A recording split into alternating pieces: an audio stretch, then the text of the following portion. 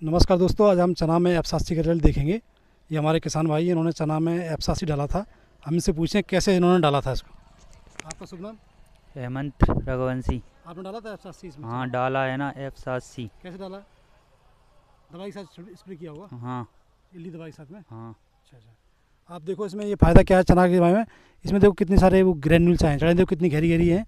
और इसमें जो नाइट्रोजन की नाइट्रीफाइंग बैक्टीरिया की जड़ें हैं ना इसमें नाइट्रोजन की गठाने कितनी ज़्यादा हैं।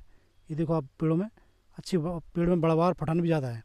आप थोड़ा फटान दिखाना पेड़ में कितनी है। देखो कितनी एक ही पेड़ में कितनी फटान आ रही है। पेड़ कितना झाड़ कर रहा है। कितने दिन का चना हो गया अपना ये? ये पंद्रह। नहीं ज़्यादा नहीं का हो गया होगा। हाँ तीस।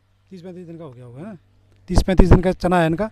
बढ़िया चना है क्वालिटी भी अच्छी है और इसमें आप जड़ें भी देखो कितनी गहरी गहरी जड़ें हैं इसमें। एफ़ अस्सी का ये फ़ायदा है कि ये इससे जड़ें गहरी गहरी जाती हैं। और पेड़ में भी फुटान ज़्यादा करता है एफ़ अस्सी से थैंक यू दोस्तों।